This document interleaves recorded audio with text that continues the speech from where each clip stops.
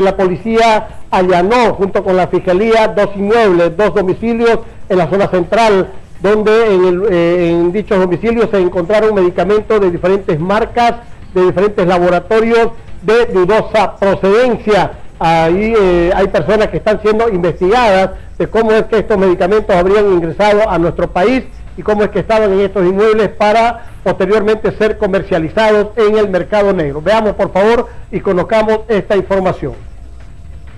El Ministerio Público junto con la policía se ha constituido estos dos inmuebles que están detrás mío, objeto de hacer una orden de allanamiento, requisitos y secuestro.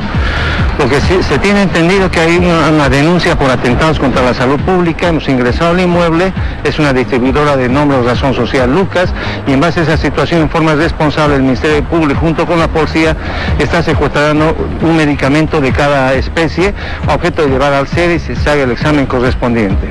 Eh, el, Ministerio Público en forma objetiva, veraz y contundente está viendo esta situación, va a llevar al laboratorio, va a hacer el examen comparativo y en base a esa situación, si están vencidos, se tomarán las medidas que el caso aconseje.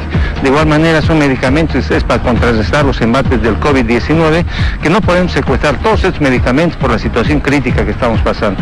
Pero estamos llevando un muestrario de cada serio medicamento objeto de cotejar, comparar y ver si estos medicamentos están vencidos o no.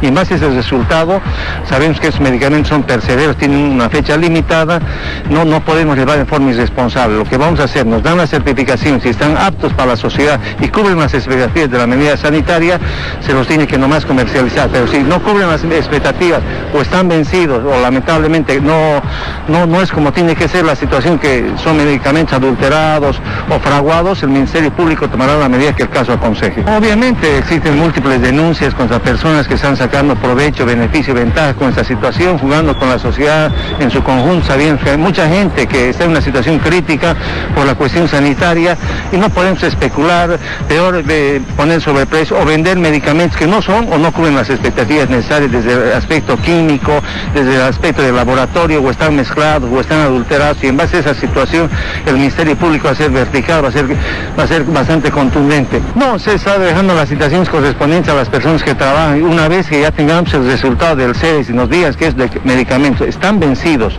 o no están vencidos, el Ministerio Público va a actuar conforme a derecho. Estamos esperando el resultado, el laboratorio y en base a eso el Ministerio Público actuará de acuerdo a lo determinado.